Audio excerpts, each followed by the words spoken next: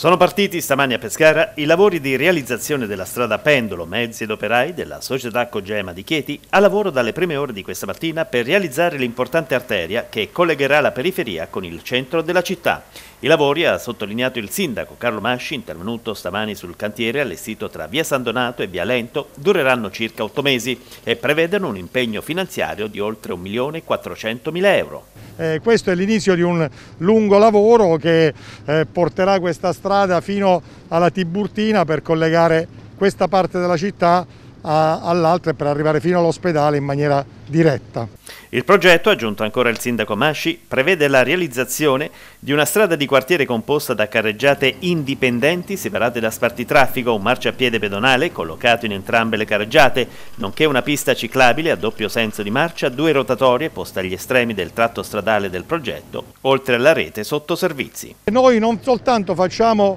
un'arteria importantissima per la viabilità, per la mobilità,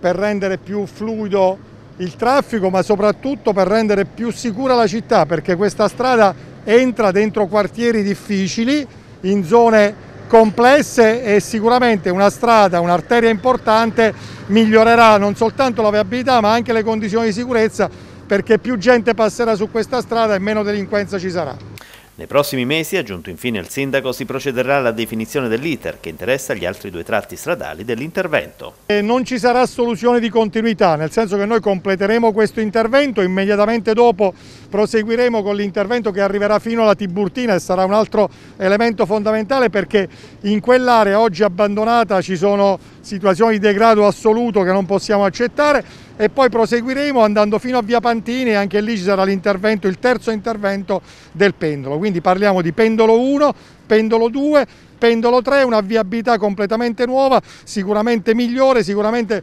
eh, una garanzia per la città, per il miglioramento generale delle condizioni della nostra città.